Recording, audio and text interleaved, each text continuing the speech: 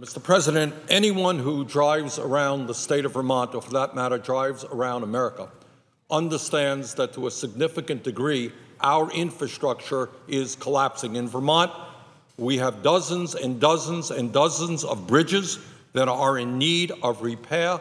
We have many, many hundreds of miles of road that need repair. Our public transit system needs help.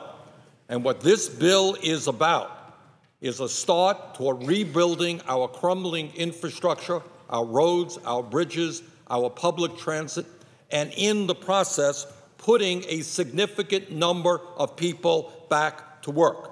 It is estimated that this bill will save more than 1.8 million jobs nationwide in each of the next three years, and it will create a million new jobs through an expanded infrastructure financing program.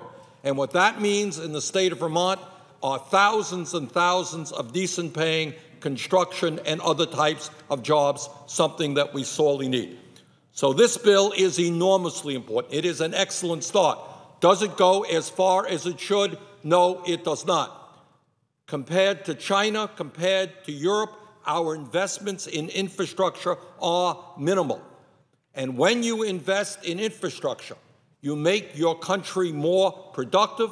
You put people back to work. We make ourselves more internationally competitive. So I just want to say that this is an important step forward. We've got more to do. Today, we focus on roads, bridges, public transit, very important. But that's not the entire infrastructure. We have got to pick up the issue on rail. We are falling further and further behind. China, Japan, Europe in terms of high speed rail. We've got to invest in rail, create jobs doing that. We have to invest in our water systems, in our wastewater plants. We have to make sure that every community in America has high quality broadband as well as cell phone service. That's what infrastructure is about. We have not invested anywhere near the degree that we should, and now is the time to get started.